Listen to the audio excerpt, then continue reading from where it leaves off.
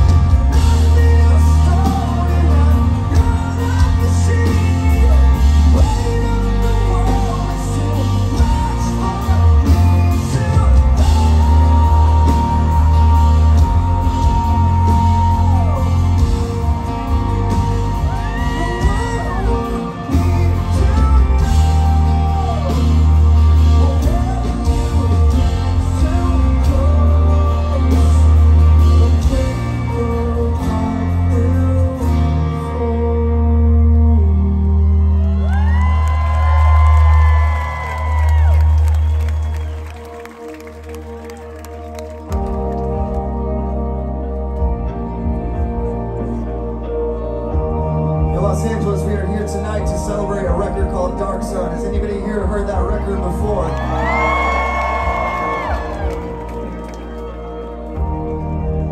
I gotta tell you that nights like tonight and this whole touring experience has been a little bittersweet because I wish my dad was alive to see what our band has grown into and I wish he could see how much his story has impacted and touched so many of your guys' lives. But I gotta tell you that despite that sadness in my heart, I know he'd be so fucking proud really been a night we're never going to forget. Thank you so fucking much for tonight, Los Angeles. This one's for my daughter Hazel. This is her song. This one's called Afterglow.